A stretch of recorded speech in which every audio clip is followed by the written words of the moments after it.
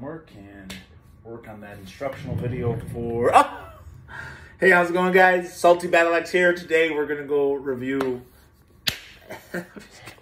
Today we're gonna review how to um, go to your level in Season Pass. So what we're gonna do is uh, we're gonna go we're gonna go, go back. I'm gonna show you. We're, we're at this main screen, right, where you can go play live events, marketplace, my team.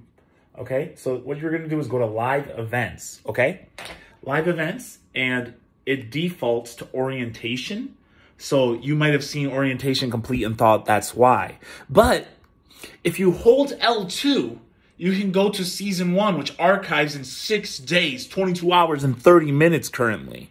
But that's to go away. But that's how you get there, guys. I hope you guys liked the video. If you did, make sure to like and subscribe. And I'll see you guys in the next one. Deuce. Suck these balls, baby.